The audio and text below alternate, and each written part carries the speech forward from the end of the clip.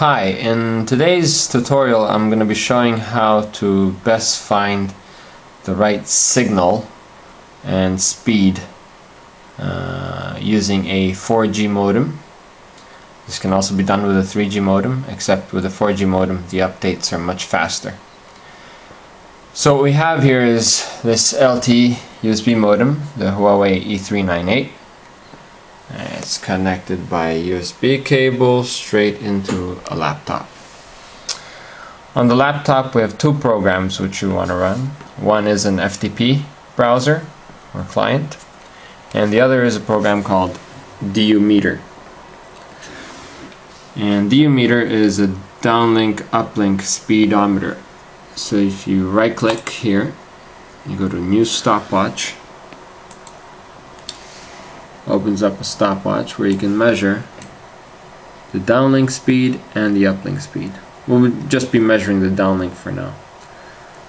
So let's put that always on top. There we go. So what we'll do is we'll take this one gigabyte file on public FTP server, drop drop it in there, Push yes, and there we go. Now start the stopwatch. As you can see, the maximum transfer rate was 70 megabits and the current is 58. So, what we'll do is, with the modem, we'll just rotate it until we see the current transfer speed go high. Oh, there you go. Whoa. 85 megabits. 87.9. There we go. That's at that angle. Now if I rotate it any other direction, see what will happen? 55.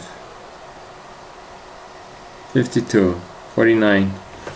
And that's like that. If I rotate it back,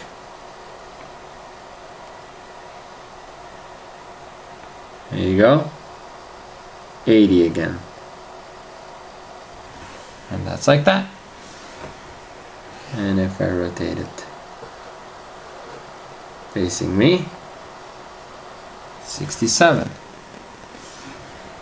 If I flip it down, 50.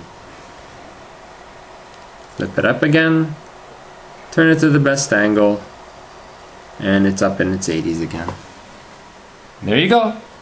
Sorry about it being a shaky video, just want to make a quick example of how to do this right. Thank you. Bye.